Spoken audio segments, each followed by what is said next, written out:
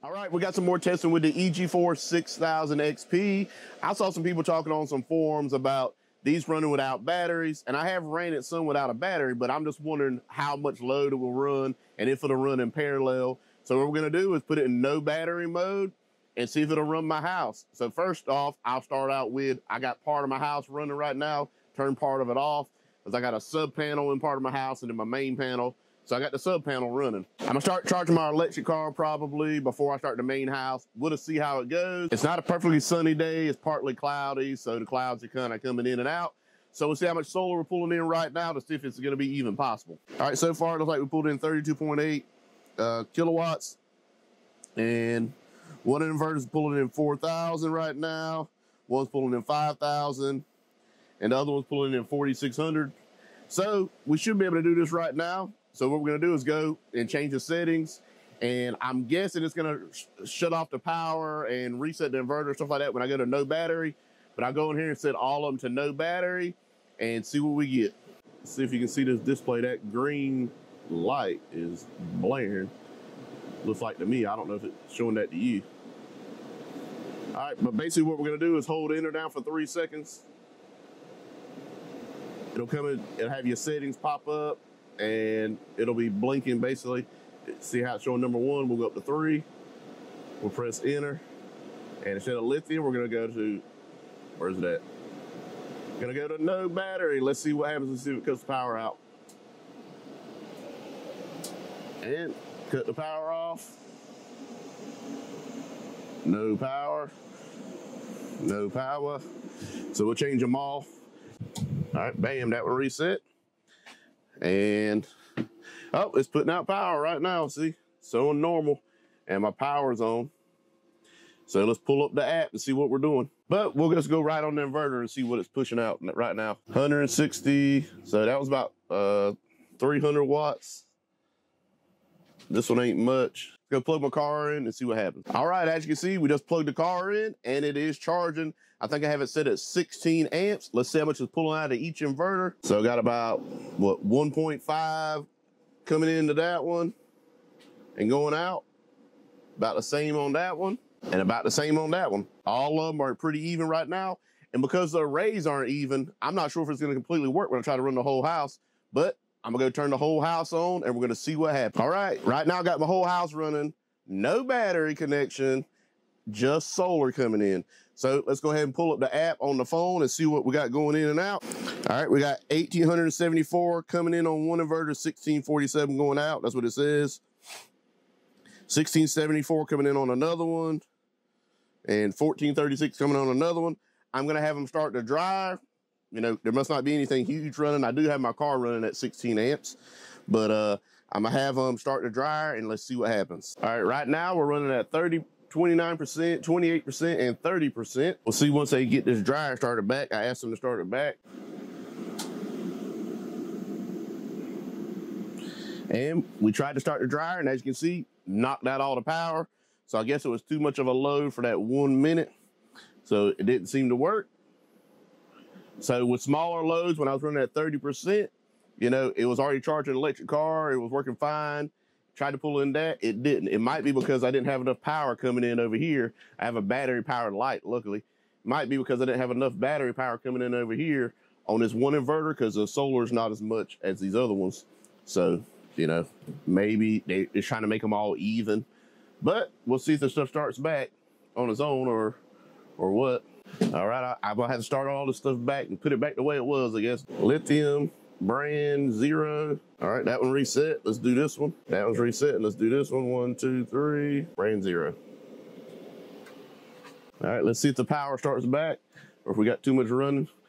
If one of them's trying to kick on, I turned off my car, so now the power keeps kicking back out. All right, battery communication at 40%. Let's see if it starts kicking out some power now. All right, let me go inside and put the stuff back on the grid so I can mess around with this and they don't, so they have some power in there real quick. All right, I got the grid power back on. That's why the rest of my lights are working. And the inverters, let's see what's going on with them. It's probably still showing a fault. Nope, looks like they're working now.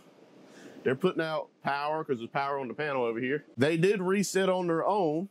Eventually, I don't know how long it took because I had walked back in the house. to turn the house back on the grid because I didn't know how long it would take me to reset all these and get them all set back. But I put them back on basically battery communication, and then it had like a little warning up there or waiting or something like that, and then it just restarted on its own. So I think what I'm gonna try to do is put it back on battery since I have most of my house on uh, uh, the grid.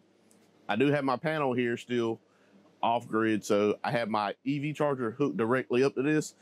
So what I try to do is set my EV charger up higher. It may just be that I pulled in more than I had solar coming in. Maybe a cloud came through or something like that. Or it might be that the load was too big. So not absolutely sure. So what we'll try to do is I'll just start the EV charger, you know, it's not a huge load to start with because I think it kind of ramps up to what it does, and we'll see if it goes out with that or if it actually works. So it might just be that dryer. It's just an instantaneous load, and it, the solar is not fast enough to, to power that. The things were all running at thirty percent, so it was already running a bunch. It was already charging my car and running lights and refrigerators and all the normal stuff in the house. I'm not sure else, what else was running, so it wasn't maxed out or anything and I don't know if one of the HVAC unit was was running. If it was running, you know, I'm, I'm not absolutely sure. I didn't have a camera on everything. I had everything running at 30% of their load. So we know it does work some. It might not run big stuff that has a lot of starting amps because of how fast the solar is going to have to change in the power. You need a battery that can instantaneously pull from. But it's just an interesting test to see what happens if you have one of these with no battery it will definitely run some stuff, especially if it's not like a huge dryer load when it starts. So let's get this set up. I'm gonna plug my EV back in and I'll leave the breaker off in here.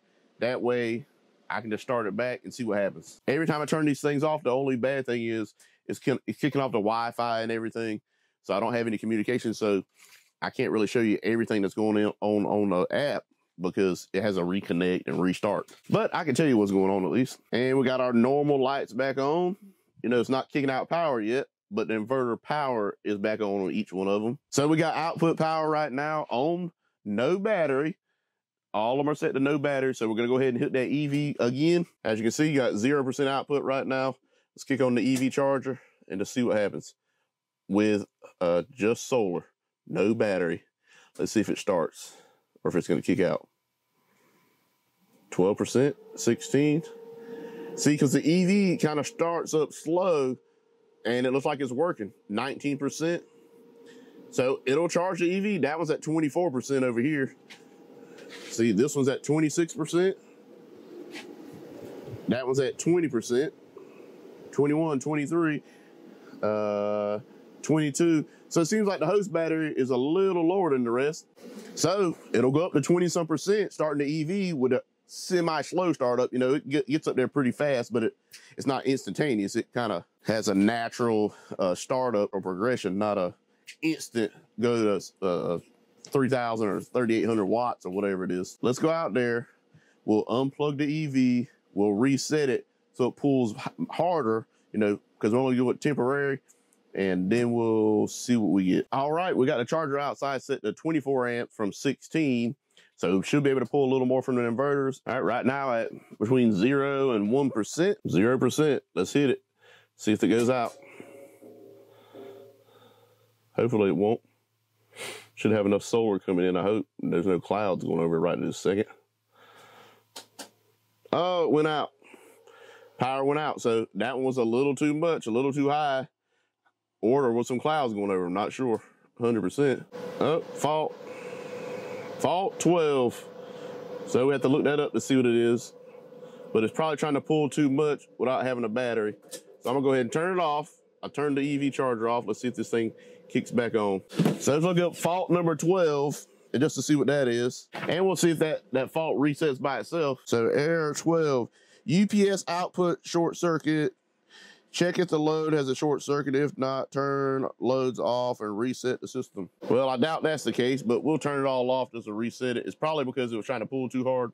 Turn them all off, turn everything off to reset it and try to start it back. uh, hopefully I haven't messed my stuff up trying to uh, do some testing here, but I mean, the stuff should run without batteries. I mean, you know, it shouldn't short. I doubt it shorted. It's probably just it didn't know what fault to come up with because it didn't have enough power to put out, is my guess. All right, we're gonna turn this first one on and see what happens. I guess we can go ahead and turn the second one on and the third one. Might as well. And while that's going on, I'll go ahead and turn the uh, charger for the car down. So I definitely think what it was is probably not enough power coming in because when I had just walked outside, it was pretty cloudy. Now the sun came back out again. I think it had something to do with that.